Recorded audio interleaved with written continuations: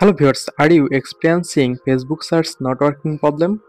In this tutorial, I'll show you how to fix it. So let's see the step. For solving this problem, first of all long press on Facebook apps. Now click on app info or I button. Scroll down. Click on storage. Now click on clear cache. Now go back click on force stop. Now click on ok. Go back to home screen. Open play store. Click on search bar and search facebook. From here update your facebook apps. If available any update version.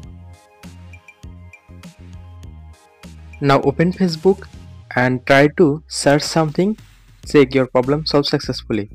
In this way you can easily solve this problem. If still problem not resolved then uninstall Facebook apps and reinstall again. Hopefully this method will fix your problem. So thanks for watching. Stay connected for more updates.